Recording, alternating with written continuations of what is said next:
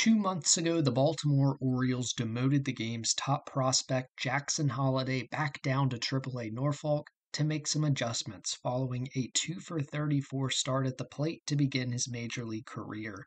Citing the need for everyday at bats, Orioles general manager Mike Elias expects Jackson Holliday to be back in the big leagues soon. In the meantime, Holliday has become the everyday second baseman for the AAA Norfolk Tides. So, how exactly has Holliday been doing at the plate since his demotion back to AAA? As of the making of this video, Jackson Holliday is 44 for 174 with 6 home runs, 16 doubles, 22 singles, an impressive 58 walks, and 54 strikeouts in his at bats back in AAA. Let's dive into the numbers, but before we do, if you could please do me a quick favor and make sure you're subscribed to my channel so you don't miss out on any updates on Jackson Holliday while he's down in the minors. I know it can be tedious to try and find minor league stats, so I want to make this channel a place where you can come to get those updates. I'll be keeping you all in the loop with how things are going for Holliday and when we can expect him to make his return to the major leagues. Back to business in order of his 49 games back in AAA. Here are his stats. I had been doing these game by game, but since he's played in so many games now, I'm taking them in chunks of five. Games one through five, he went four for 20, which is a 200 batting average, with two doubles, two singles, six walks, and one strikeout. So a little light on the hits, but his on base percentage was up due to all those walks. Then he caught fire. Games 6 through 10, 6 for 17, which is a 353 batting average with a home run, two doubles, three singles, six walks, and five strikeouts. The home run was his first since before his call up on April 10th, so it had been a full month since his last homer at the time. Games 11 through 15 were again a little bit slower when it comes to the hits, just 3 for 19, which is a 158 batting average, with three singles, four walks, and six strikeouts.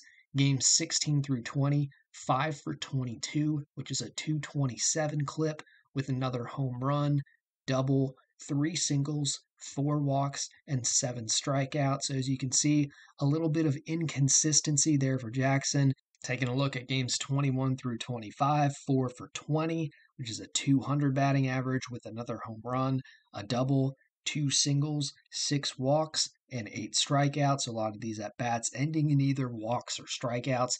Games 26 through 30 were nice, 7 for 16, which is a 438 batting average, with another home run, two doubles, four singles, four walks, and six strikeouts. Games 31 through 35, 4 for 15, which is a 267 batting average, with two doubles, two singles, five walks, and four strikeouts. Games 36 through 40, 3 for 18 with a home run, a double, a single, seven walks, and seven strikeouts.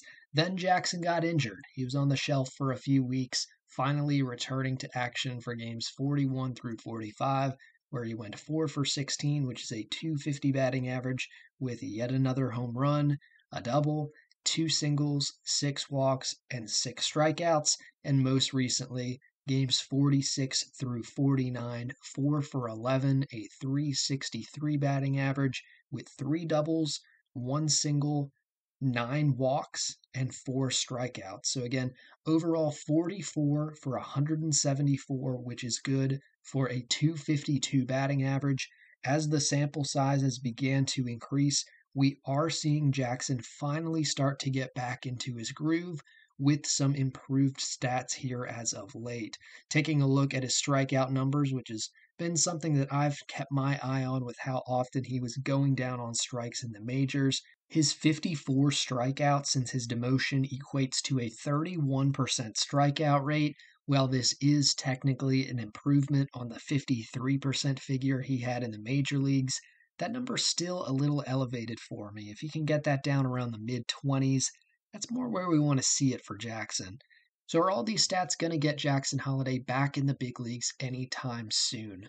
Probably not, although I do feel like there's been some improvements as of late. I do feel that he's probably going to need to put up some better stats more consistently over the coming weeks to get the promotion. There's certainly been flashes of promise.